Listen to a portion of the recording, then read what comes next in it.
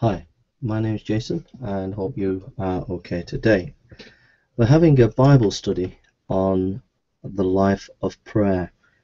We're looking at what the Bible teaches about prayer and I hope that this will be a rich blessing to you and an encouragement to you in your walk with the Lord. So let's come before the Lord.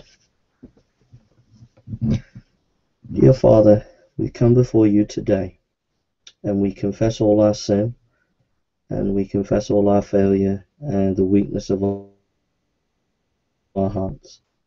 We acknowledge that you are our God, that you are our Saviour and Lord, and we give you the praise and the glory.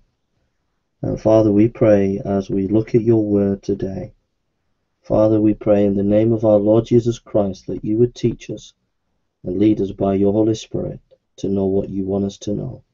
In Jesus' name, Amen. Okay, if you turn to Acts chapter 22, Acts 22.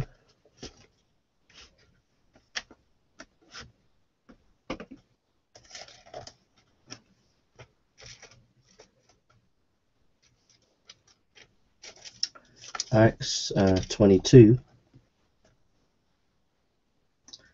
verse 21 and 29. And he said unto me, Depart, for I will send thee far hence. They gave him audience unto his word, and then lifted up their voices and said, Away with such a fellow from the earth, for it is not fit that he should live.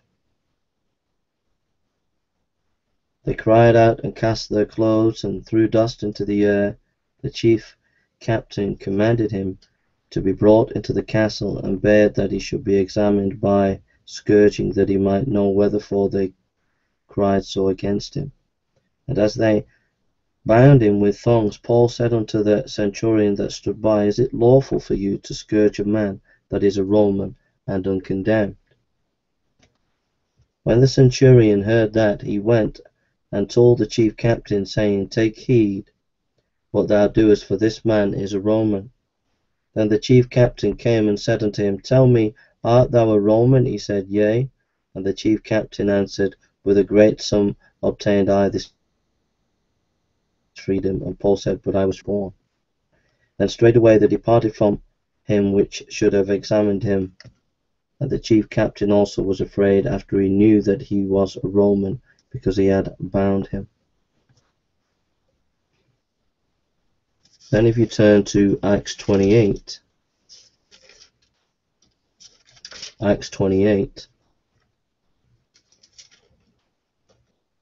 Acts 28, verse 11 to 16.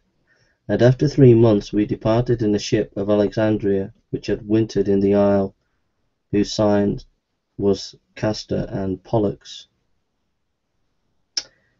And landing at Syracuse, we tarried there three days, and from thence we fetched a compass and came to Rhegium, and after one day the south wind blew, and we came the next day to uh,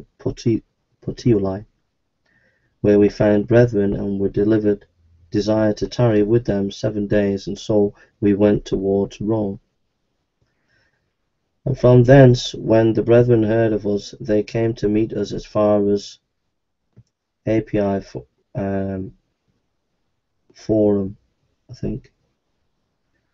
And the three taverns, whom when Paul saw, he thanked God and took courage.